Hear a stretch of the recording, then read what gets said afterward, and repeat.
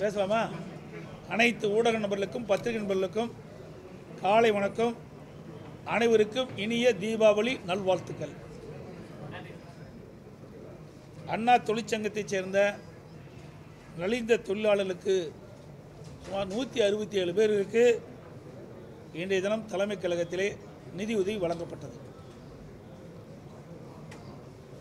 அண்ணா திராவிட முன்னேற்ற கழகத்தில் சார்பாக அண்ணா தொழிற்சங்க பேரவையின் சார்பாக நலிந்த தொழிலாளர்கள் மற்றும் போக்குவரத்தில் பணியாற்றிய விபத்துக்குள்ளாகி பாதிக்கப்பட்டவர்களுக்கு இன்றைய தினம் அவர்களுக்கு உதவி வழங்கப்பட்டது. தமிழகத்தில் உள்ள கல்லூரிகளில் கௌரவ விரிவு உரிவ பேராசிரியராக கௌரவ உதவி பேராசிரியர்களாக பணியாற்றக்கூடியவர்கள் அந்த பணியிலே சுமார் ஆயிரக்கணக்கான பணியிடங்கள் காலியாக இருக்கின்றன. அரசாங்கம் ஒரு குறிப்பிட்ட அளவு அதாவது சுமார் ஆயிரம் பணியிடங்கள் நிரப்புவதாக அறிவிக்கப்பட்டிருக்கின்றது. எஞ்சிய காலி பணியிடங்கள் எப்பொழுது நிரப்பப்படும் என்ற அறிவிப்பு இன்னும் வெளியிடப்படவில்லை. அதோடு உயர்கல்வி படிக்கின்றவர்கள் முழுமையாக கல்வி கற்க வேண்டும் என்று சொன்னால் அந்த கல்லூரியில் காலியாக உள்ள உதவி பேராசிரியர் பணியிடம் அத்தனை நிரப்பப்பட வேண்டும். ஏன்னா பட்டப்படிப்பு என்பது முக்கியம். அவர்கள் சிறந்த கல்வி கற்று பட்டம் பெற்றால்தான் அவர்கள் முடி ப- படிப்பு முடித்த பிறகு வேலைக்கு செல்ல முடியும். ஆனால் இந்த விடியா திமுக ஆட்சியில் தொடர்ந்து கல்லூரிகள் உதவி பேராசிரியர் பணி அதிக அளவில் காலியிடமாக இருக்கின்றது. இதை உடனடியாக இந்த அரசு அந்த காலி பணியிடங்களை நிரப்பப்பட வேண்டும். இது மாணவருடைய எதிர்கால பிரச்சனையாக இருக்கின்ற காரணத்தினால் அந்த உதவி பேராசிரியர் பணியிடங்கள் விரைவில் நிரப்பப்பட வேண்டும். பகுதி நேர ஆசிரியர்களுக்கு தீபாவளி பண்டிகை முன்னிட்டு அவர்களுக்கு முன்கூட்டியே சம்பளத்தை வழங்க வேண்டும். ஏனென்றால் அவர்களெல்லாம் பகுதி நேர ஆசிரியராக இருக்கின்றார்கள். அவர்களுக்கு குறைந்த ஊதியம்தான் கிடைக்கின்றது. அதனால் தீபாவளி பண்டிகை அவர்கள் மகிழ்ச்சியோடு கொண்டாடுகின்ற விதமாக அவர்களுக்கு முன்கூட்டியே அவருடைய சம்பளத்தை வழங்க வேண்டும் என்று அரசை வலியுறுத்தி கேட்டுக்கொள்கிறேன். சென்னை மாநகரத்தில் ஒன்பது பூங்காக்கள் இருக்கின்றன. அந்த ஒன்பது பூங்காக்களில் உள்ள விளையாட்டு மைதானத்தை தனியாருக்கு தாரை வார்ப்பதாக செய்தியில் வருகின்றன. இது கண்டிக்கத்தக்கது. இன்றைக்கு மாநகராட்சியில் இருக்கின்ற பூங்காக்கள் இருக்கின்ற விளையாட்டு மைதானத்தை தனியாருக்கு தாரை வைத்தால் அவர்கள் கட்டணம் வசூலிக்கப்படிய ஒரு சூழ்நிலை ஏற்படுவதும் அதிக கட்டணத்தை வசூலித்து விடுவார்கள் இதனால் நடுத்தர மக்கள் சாதாரண மக்கள் இந்த விளையாட்டு மைதானத்தை பயன்படுத்த முடியாத ஒரு சூழ்நிலை ஏற்பட்டுவிடும் ஆகவே இந்த அரசு அப்படி ஒரு திட்டத்தை கொண்டு வருவதாக இருந்தால் அதை கைவிட கைவிட வேண்டும்? ஆனால் கொண்டு வரலைங்கிறாங்களே அமுல்படுத்தலைங்கிறாங்களே. தீர்மானம் நிறைவேற்றி இன்னும் அமுல்படுத்தல இன்னும் நடைமுறைக்கு வரல அதனால் இந்த அரசு மக்களுடைய நலன் கருதி இளைஞர்களுடைய நலன் கருதி அந்த மாநகராட்சியில் நிறைவேற்றப்பட்ட தீர்மானத்தை ரத்து செய்ய வேண்டும். அதே போல் இன்றைக்கு நீலகிரி மாவட்டத்தில் இருக்கின்ற டேன்டி தொழிலாளர்களுக்கு ஒவ்வொரு ரவுண்டும் போனஸ் வழங்கப்படும். அந்த தொழிலாளர்களும் ஏழை தொழிலாளர்கள். அதிகமாக குறிப்பாக சொல்ல வேண்டாம் மலைவாழ் மக்கள் அதில் நிறைவாக நிறைய பணியில் இருக்கின்றார்கள். இதை கருத்தில் கொண்டு அந்த டேன்டி தொழிலாளர்கள் தீபாவளியை மகிழ்ச்சியோடு கொண்டாடுகின்ற விதமாக அரசு உடனடியாக அவர்களுக்கு போனஸ் அறிவித்து வழங்கப்பட வேண்டும். இன்னும் தீபாவளிக்கு இரண்டு நாட்கள் தான் இருக்கின்றது. இதை கவனத்தில் எடுத்துக்கொண்டு இந்த அரசு வேகமாக துரிதமாக செயல்பட்டு அந்த டேண்டி தொழிலாளர்களுக்கு போனஸ் வழங்கப்பட வேண்டும். அதோடு தமிழகத்தில் இருக்கின்ற அனைத்து மக்களுக்கும் இனிய தீபாவளி நல்வாழ்த்துக்களை தெரிவித்துக் கொள்கின்றேன். தீபாவளி பண்டிகையை சிறப்பாக கொண்டாடுகின்ற பொழுது குடும்பத்தோடு பாதுகாப்பாக பட்டாசு வெடிக்கின்ற பொழுது குழந்தைகளை பாதுகாப்பாக பார்த்து கொள்ள வேண்டும் என்று இந்த நேரத்தில் அவர்களை அன்போடு கேட்டுக்கொள்கின்றேன் சார், இந்த விஜய் வந்து இப்ப தமிழக வெற்றிகளாம் கட்சி முதல் மாநாடு நடந்திருக்கு இந்த மாநாட்டை பத்தி எப்படி பாக்குறீங்க உங்களுடைய கருத்துக்கள் அது தமிழகத்தில் ஒவ்வொரு கட்சியும் மாநாடு நடத்துகிறாங்க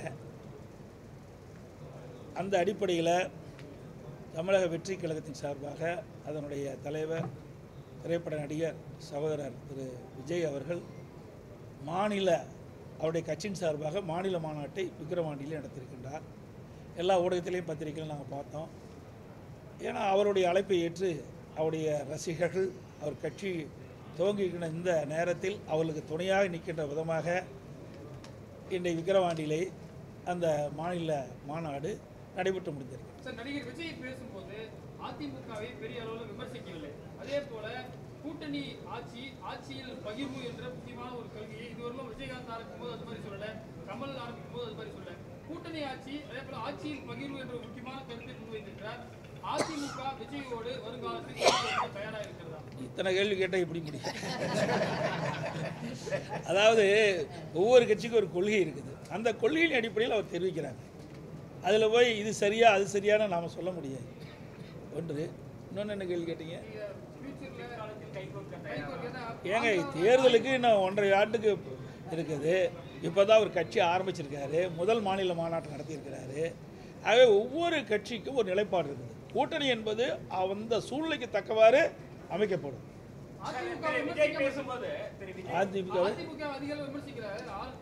எங்கள் அண்ணா திமுக சிறப்பாக செயல்பட்டுருக்குன்னு அர்த்தம் பேசும்போது திரு விஜய் பேசும்போது எங்களுடைய கொள்கை எதிரி வந்து மதவாத சக்திகள் பிரிவினைவாதிகள் அப்படின்னு சொல்லிட்டு அதே நேரத்துல அரசியல் எதிரி வந்து திராவிட மாடல் என்று குறிக்கொள்பவர்கள் தான் எங்களுடைய அரசியல் எதிரி அப்படின்னு சொல்லிட்டு மறைமுகமாக பாஜகவையும் நேரடியாக திமுகவையும் வந்து த- அதான் நீங்களே சொல்லிட்டீங்களே. நான் சொல்ல வேண்டிய பதிலை நீங்களே சொல்லிட்டீங்க. அதாவது அதான் அவருடைய கருத்தை அவர் தெரிவிச்சிருக்காரு. அவர் ஒரு கட்சியினுடைய தலைவர் ஆயிட்டார். அந்த கட்சிக்கு என்ன கருத்து இருக்கின்றதோ அதை வெளிப்படுத்தி இருக்கிறார்.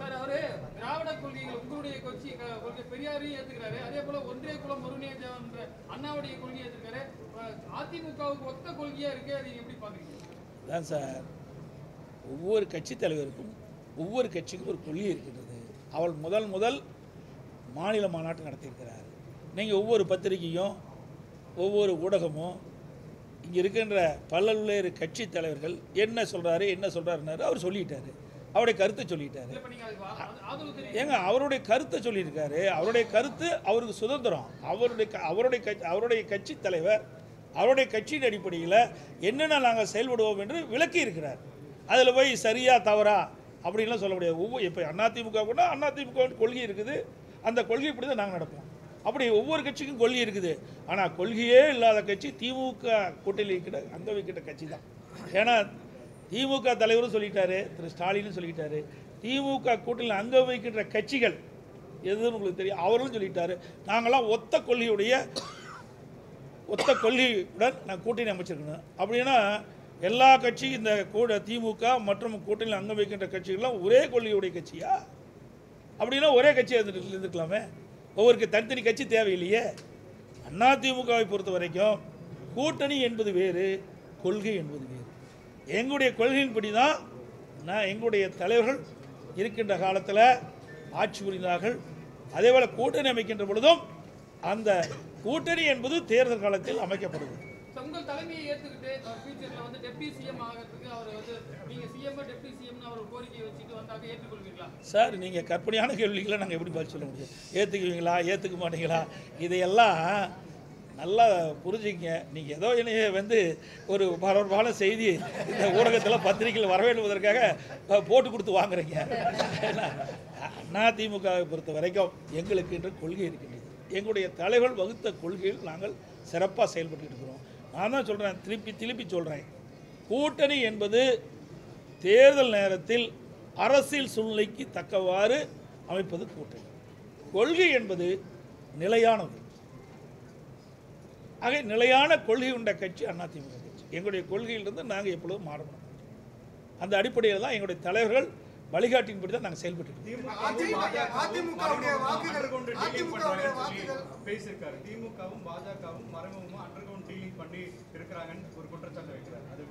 ஆனால் ஏற்கனவே நாங்கள் சொல்லிக்கிட்டு இருந்தோம். உங்கள் பத்திரிகையும் ஊடகமும் இப்போ தான் காட்டுவீங்க அப்புறம் காட்ட மாட்டீங்க. இப்போ மட்டும் அப்படியே காட்டுறீங்க. அதுவும் சில இடத்துல நேரலையில் காட்டுறீங்க. சில நேரத்தில் அப்படி கட் பண்ணி காட்டுறீங்க. எடிட்டிங் மாதிரி. அப்புறம் இது முடிஞ்ச உடனே எங்கேயாவது உங்களுக்கு அழுத்தம் வரும். அதோட செய்தி வெளியிட்டுருவீங்க. இப்போ எல்லாம் சொல்ல ஆரம்பிச்சிட்டாங்க. நாங்கள் சொன்னது மற்ற கட்சிகளும் சொல்ல ஆரம்பிச்சிடுது. இன்றைக்கு திமுகவும் பாரதிய ஜனதாவும் இன்றைக்கு நீங்கள் சொன்ன மாதிரி டீலிங் இருக்குது. மறைமுக டீலிங் இருக்குது. மறைமுக உறவு இருக்குது என்று நாங்கள் சொல்லிக்கிட்டு இருந்தோம். இப்போ மற்றவர்களும் சொல்ல ஆரம்பிச்சிட்டாங்க. அதிமுகவுடைய வாக்குகளை ஈர்க்க வேண்டும் அப்படின்ற ஒரு எண்ணத்துல விஜய் திமுக பாஜக எதிர்ப்பை பிரதிபலிக்கிறாரா? அண்ணா திமுக வாக்கு யாரும் ஈர்க்க முடியாது. சொல்றத கேளுங்க. அது எல்லாரும் எம்ஜிஆர் பற்றி தான் பேசுகிறாங்க யார் எம்ஜிஆர் பேரை சொன்னா தான் கட்சி நடத்த முடியும் என்ற நிலை இருக்கின்றது. அந்த அளவுக்கு எங்களுடைய அரசியல் கட்சியுடைய தலைவர்கள் வாழ்ந்தார்கள். வாழ்நாளில் நிறைய திட்டங்களை கொண்டாந்தாங்க. மக்களிடத்திலே மிகப்பெரிய ஈர்ப்பு இருக்குது. பொன்மனச்சம்பல் புரட்சித் தலைவர் மறைவும் சரி இதே புரட்சித் தலைவர் அம்மா மறைவும் சரி பேர் அண்ணாவள் மறைவுக்கு பிறகும் இன்றைய அந்த கட்சி தலைவர்கள்லாம் மக்கள் மனதிலே வாழ்ந்து கொண்டிருக்கிறார் என்று சொன்னால் அவர் வாழ்ந்த காலத்தில் மக்களுக்கு செய்த திட்டங்கள் அதனால் நன்மைகள் இந்த தமிழ்நாடு ஏற்றம் பெற்றது. அதனால் இன்றைக்கும் மற்ற கட்சி தலைவர்கள்லாம் அவரைப் போல் நாமும் வழிகாட்டியாக அவளை பின்பற்றி நடக்க வேண்டும் என்ற அடிப்படையில் அவர் பேசுகிறாங்க சார் திராவிடமும் தமிழ் தேசியமும் ஒரே கண்கள் அப்படின்னு அதை சார்? நாங்கள் ஏற்கிறது ஏற்கிறது வேற அவர் அவருடைய கொள்கையை பேசுகிறாரு நான் நான் தான் சொல்லிட்டேன். ஒவ்வொரு கட்சிக்கும் ஒரு கொள்கை இருக்குது. அந்த கொள்கையின் அடிப்படையில் அவர் செயல்படுவாங்க. நாம் போய் அந்த கட்சி தலைவர்கள் சொல்கிறது சரியா தவறா அப்படி தீர்மானிக்கிறதுக்கு நமக்கு அந்த அதிகாரம் கிடையாது. இப்போ இன்றைக்கி ஒவ்வொரு தமிழகத்திலும் சரி இந்தியாவிலும் சரி நிறைய அரசியல் கட்சி தலைவர் இருக்குது. ஒவ்வொரு அரசியல் கட்சி தலைவருக்கும் ஒரு பார்வை இருக்குது ஒரு கொள்கை இருக்குது. அந்த கொள்கையின் அடிப்படையில் அவர் செயல்படுறாங்க. அதில் இது சரி அது தவறு அப்படின்னு நாம் எப்படி சொல்ல முடியும்? நீங்கள் வேற அதாவது நான் தான் தெரிவித்த எங்கள் கொள்கைன்னு உங்களுக்கு நல்லா தெரியும். என்ன கொள்கைன்னு உங்களுக்கு தெரியும். எத்தனை ஆண்டு காலம் நாங்கள் ஆட்சி புரிந்து தெரியும்.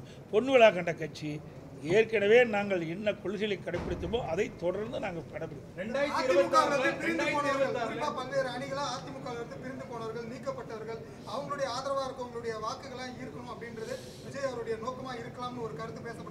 ஏங்க?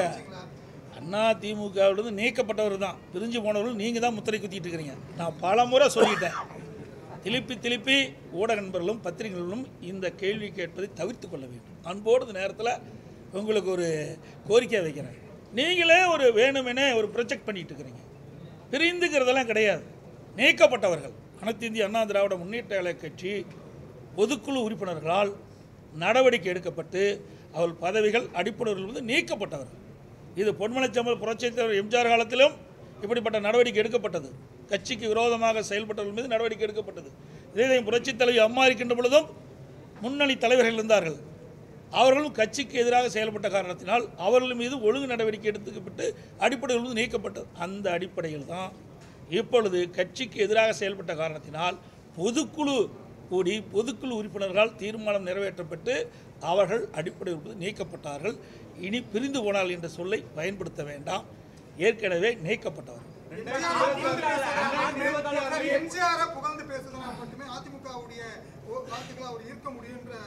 இருக்கா? யாரு? சார் ஏ அதாவது நான் தான் சொல்லேனே சார் நீங்கள் திருப்பி திருப்பி அந்த கேள்விக்கே வராதீங்க. இது நான் தான் சொன்னேன். ஒரு அரசியல் கட்சி தலைவர் எப்படி இருக்க வேண்டும் என்பதற்கு வாழ்ந்து காட்டிய தலைவர்கள் பொன்மலைச்சம்மல் புரட்சித் தலைவர் எம்ஜிஆர் இதே புரட்சித் தலைவர் அம்மா. ஏ ஏன்னா ஒரு நல்லவர்களை முன்னிறுத்துவதில் என்ன தவறு? அதுதான் அவர்கள் கடைப்பிடிக்கிறாங்க. அதில் போய் இப்படி இருக்குமா அப்படி இருக்குமா என்று நீங்கள் ஒரு கருத்தை சொல்லி அதுக்கு வந்து இது பண்ண அதாவது அதாவது அதுக்கு ஒரு கலங்கு கற்பிக்க வேண்டாம். ஏன்னா இது வந்து நல்லா புரிஞ்சுங்க. ஒருத்தர் முத முதல் ஒரு மாநில மாநாடு நடத்துறார். ஒரு மாநில மாநாடு நடத்துகின்ற பொழுது எல்லாம் எதிர்பார்ப்பாங்க. அவருடைய செய்- நீங்களே அந்த பத்திரிகையிலையும் ஊடகங்களையும் எதிர்க்கட்சியை சேர்ந்தவர்களாம் என்ன செய்கிறாரு ஏது செய்கிறாங்க அப்படி அவர்கள் வந்து ஒரு மாநில மாநாட்டை முன்னிறுத்தி நடத்துகின்ற பொழுது ஒரு நல்ல எண்ணத்தின் அடிப்படையிலே ஒரு சேவை செய்ய வேண்டும் என்ற எண்ணத்தின் அடிப்படையிலே ஒரு நல்ல தலைவர் வழியிலே நடக்க வேண்டும் என்ற அடிப்படையில் அவர் பேசுகிறார் திமுக எதிர்ப்பு பாஜக எதிர்ப்புன்ட்டு அதிமுகவுடைய ரூட்டையே விஜய் ஃபாலோ எடுத்துக்கலாமா? ஏங்க ஃபாலோ பண்ணுறது ஃபாலோ பண்ணுறதெல்லாம் அவரவர் பொறுத்து தான் சொல்கிறது புரியுதா? நீங்கள் இது வரைக்கும் அண்ணா திமுக தான் எதிர்ப்பு குரல் கொடுத்துட்டு இருந்தது. அண்ணா திமுக தான் திராவிட முன்னேற்ற கழகம் செய்யக்கூடிய மக்களுக்கு செய்யக்கூடிய விரோதமான போக்கை சுட்டி காட்டுது மக்களுடைய பிரச்சனையை முன்வைத்தது. நாற்பத்தி ஒரு மாத திராவிட முன்னேற்ற கழக ஆட்சியில் மக்களுக்கு ஏற்பட்ட இன்னல்கள் துன்பங்கள் துயரங்கள் வேதனைகள் விலைவாசி உயர்வு சட்ட ஒழுங்கு சீர்குலைவு பாலியல் கொடுமை இதையெல்லாம் நாங்கள் தொடர்ந்து வலியுறுத்திட்டு இருந்தோம். எந்த ஊடகமும் பத்திரிகையும் எங்களுக்கு மிகப்பெரிய ஆதரவு கொடுக்கல. இப்போ சில பேர் ஆதரவு கொடுத்துருக்குறாங்க. அந்த கேள்வி உங்கள் மூலமாக வந்துட்டுது. அப்போது நாங்கள் வைத்த கேள்வி இன்றைக்கு பிரதிபலித்திட்டு இருக்குது. திமுக சொல்றதை எப்படி அதாங்க நாங்கள் ஏற்கனவே திராவிட முன்னேற்ற கழகம் எப்படிப்பட்ட கட்சி? பொன்மனச்செம்மல் புரட்சித் தலைவர் எம்ஜிஆர் அவர்கள் அண்ணா திமுகவை தொடங்குகின்ற பொழுதே தீய சக்தி திமுக அப்படின்னு தான் குறிப்பிட்டார். அப்படிப்பட்ட கட்சியை வீழ்த்த வேண்டும் என்று அன்றையிலிருந்து இன்றைய வரைக்கும் நாங்கள் போராடி கொண்டிருக்கிறோம் சில நேரத்தில் வெற்றி பெற்றிருக்கிறோம். சில சந்தர்ப்ப சூழ்நிலையில் நாங்கள் அந்த வாய்ப்பை இழந்தும் இருக்கின்றோம். அந்த அடிப்படையில் இன்றைய தினம் திமுகவுடைய விஸ்வரூபத்தை பார்த்துக்கிட்டாங்க. அதனால ஒவ்வொருத்தரும் அந்த கருத்தை சொல்றாங்க. இரண்டாயிரத்தி கடந்த 55 வருடமா? கூட்டணிக்கு புதிய கட்சிகள் வர வாய்ப்பு இருக்கா? ரொம்ப ஏழையா கேட்டா கூட எல்லாரும் பேச ஆரம்பிச்சு அதாவது இன்னும் ஒன்றரை ஆண்டு காலம் இருக்கின்றது. மூணில் ஒரு பாக காலம் இருக்குது. எதுவுமே தேர்தலுக்கு குறுகிய காலத்தில் கூட்டணி பேச்சு நடைபெற்றால்தான் அது சாத்தியமாகும். ஒன்றரை ஆண்டுகளுக்கு முன்பாகவே எந்த ஒரு கட்சியும் கூட்டணி அமைப்பதாக எனக்கு தெரியவில்லை. அண்ணா திமுகவை பொறுத்த வரைக்கும் எங்களோடு ஒத்த கருத்துள்ள கட்சிகள் வலிமையான கூட்டணி அமையும். அது உங்களுக்கு அனைவருக்கும் தெரிவிக்கப்படும். இந்த கூட்டணி வெற்றி கூட்டணியாக இருக்கும். கடந்த 55 வருஷம் கடந்த 55 வருஷமா பொலிட்டிக்கல் கிரவுண்ட் டிஎம்கே ஏடிஎம்கே இருக்கு இந்த ஆட்சி சார் கடந்த 55 வருஷமா பொலிட்டிக்கல் கிரவுண்ட் டிஎம்கே ஏடிஎம்கே தான் தமிழ்நாட்டுல இருந்துட்டு இருக்கு இந்த நிலை வருங்காலத்துல மாறுறதுக்கான ஏதாவது சான்சஸ் இருக்குமா? நிறைய பேர் வந்தாங்க. மாற்றலான்னு தான் வந்தாங்க. மாற்ற முடியல அண்ணா திமுக என்பது பொன்மனச்செம்மல் புரட்சித் தலைவர் எம்ஜிஆர் இதயம் புரட்சித் தலைவர் அம்மா. இப்போ நீங்கள் தான் எனக்கு கேள்வி கேட்டீங்க. எம்ஜிஆருடைய பேரை சொல்கிறாங்கன்னு அப்படின்னா அந்த கட்சி எப்பேற்பட்ட கட்சியாக இருக்கும்? எப்படி வலிமையான கட்சியாக இருக்கும்? நல்லா புரிஞ்சுங்க. அனைத்து இந்திய அண்ணா திராவிட முன்னேற்ற கழகம் என்பது கிட்டத்தட்ட பொன்விழா கண்ட கட்சிங்க. முப்பது ஆண்டு காலம் ஆட்சி புரிந்த கட்சி. இன்றைக்கு தமிழகம் இந்த அளவுக்கு இந்தியாவிலேயே முதன்மை மாநிலமாக விளங்குவதற்கு அதிமுக அரசு செயல்பட்டு திட்டங்களை கொண்டு வந்து நடைமுறைப்படுத்தி அதனால் தமிழகம் வளர்ச்சி பெற்றிருக்குது. உடனே வளர்ச்சி ஆகலை. இன்றைக்கி திரு ஸ்டாலின் பேசிகிட்டு இருக்காரு. வளர்ச்சி வளர்ச்சி. என்ன உடனே இவர் வந்தோடனே வளர்ச்சி. இவர் என்ன திட்டத்தை கொண்டு வந்தார்? அதனால் என்ன வளர்ச்சி? உங்களுக்கு ஊடக நம்பர்களுக்கு பத்திரிகை உங்களுக்கு தெரியும். நாற்பத்தி ஒரு மாத காலம் திராவிட முன்னேற்ற கழக ஆட்சியில் என்ன புதிய பெரிய திட்டத்தை கொண்டு வந்தாங்க ஒன்றுமே கிடையாது. அனைத்து இந்திய அண்ணா திராவிட முன்னேற்ற கழக ஆட்சியில் கொண்டு வரப்பட்ட திட்டங்களை கூட முழுமையாக செயல்படுத்த முடியல. பல திட்டத்தில் முடக்கி வச்சிருக்கிறாங்க.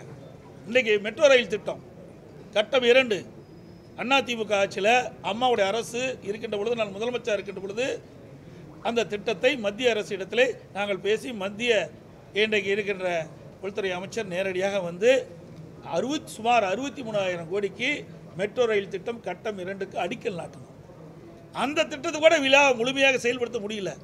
எப்போ பார்த்தாலும் பத்திரிகையில் இவர்கள் சொல்ல இவர்கள் எங்களுக்கு உதவி செய்யலாம் அவர்கள் உதவி செய்யலைங்கிறாங்க. இவர்கள் என்ன செய்தா என்பதுதான் தெரியல. அதோட மிகப்பெரிய திட்டம். கால்நடை பூங்கா. ரெண்டரை ஆண்டு காலமாக இன்னும் பூட்டி வச்சுட்டே இருக்கிறாங்க. ஆயிரம் கோடியில் இந்தியாவிலேயே மிகப்பெரிய கால்நடை பூங்கா கால்நடை ஆராய்ச்சி நிலையம் கட்டப்பட்டு இன்னும் திறக்கப்படவில்லை. எல்லாவற்றுக்கும் பேசுகிறாரு ஏன் இதை மட்டும் பேச மாட்டேங்கிறாரு? ஏன்னா இந்த திட்டத்தை துவக்கினா அதிமுக பேர் வந்துடும் விவசாயிகளிடத்தில் நன்மதிப்பு வந்துடும் ஆக அப்படிப்பட்ட அற்புதமான திட்டத்தை கொண்டு வந்த அரசாங்கம் அதிமுக அரசாங்கம் அதை கிடப்பில் போடப்பட்டிருக்கிறது அரசாங்கம் திமுக அரசாங்கம். இன்னும் அத்திக்கடை அவனாசி திட்டம் முழுமையாக இன்னும் நிறைவேற்றப்படலை. அதே மாதிரி சேலத்தில் நூறேரி திட்டம் இன்னும் முழுமையாக நிறைவேற்றலை. இப்படி பல திட்டங்கள் அதிமுக ஆட்சியில் தொடங்கப்பட்ட திட்டங்கள் மக்களுக்கு நன்மை கிடைக்கக்கூடிய திட்டங்கள் விவசாயிகளுக்கு பயனளிக்கக்கூடிய திட்டங்கள் வேண்டுமென்றே திட்டமிட்டு அதிமுக ஆட்சியில் கொண்டு வரப்பட்ட திட்டம் என்ற ஒரே காரணத்திற்கு அந்த திட்டத்தை எல்லாம் முடக்கி வச்சிருக்கிறாங்க. சார் ஆட்சியிலே நாட்கள்லயும் போட்டின்றது திமுக அதிமுக இருக்குமா? இல்ல வேற ஏதாவது கட்சி உங்களுக்கு நேரத்தில் வர வாய்ப்புகள் இருக்குமா? சார் இது ஜனநாயக நாடு. இந்த ஜனநாயக நாட்டில் யார் வேணாலும் போட்டியிடலாம். புரியுதுங்களா? இதுக்கு வந்து ஒரு கட்டுப்பாடே கிடையாது. அது நீங்கள் கூட போட்டிடலாம் புரியுதா? அதில் எந்த தடையும் கிடையாது. ஆகவே இதையெல்லாம் தீர்மானிக்க வேண்டியது மக்கள். எல்லா கட்சியும் போட்டியிடுகிறது. அனைத்து இந்திய அண்ணா திராவிட முன்னேற்ற கழகம் நாங்கள் செய்த சாதனையை முன்னிறுத்தி எங்களுடைய தலைவர் வழியில் நாங்கள் நடப்போம். அதை நாலாண்டு காலம் சிறப்பான முறையில் செயல்பட்டு மக்கள் எங்களை ஆதரிக்கக்கூடிய சூழ்நிலை இருக்கின்றார்கள். அதோடு பலமான கூட்டணி அமையும். ரெண்டாயிரத்தி இருபத்தி ஆறில் அனைத்து இந்திய அண்ணா திராவிட முன்னேற்ற கழக ஆட்சி மலரும். மக்களுக்கு தேவையான திட்டங்கள் தொடரும். இந்த விடியா திமுக ஆட்சியில் முடக்கப்பட்ட திட்டங்கள் அத்தனையும் நாங்கள் தொடர்வோம். மக்கள் நல பணியிலே முன்னிறுத்துவோம். சட்ட ஒழுங்கு காக்கப்படும். போதைப்பொருள் அறவாக ஒழிக்கப்படும். பாலியல் கொடுமை தடுக்கப்படும். மக்களுக்கு தேவையான திட்டங்களை கொண்டு வந்து மக்களுடைய அன்பை பெற்று மக்களுடைய துன்பம் துயரங்கள் வேதனைகள் அத்தனையும் நீங்குவதற்கு அதிமுக அரசு பாடுபடும். அனைத்து ஊடகங்களுக்கும் பத்து நன்றி வணக்கம். எடப்பாடியா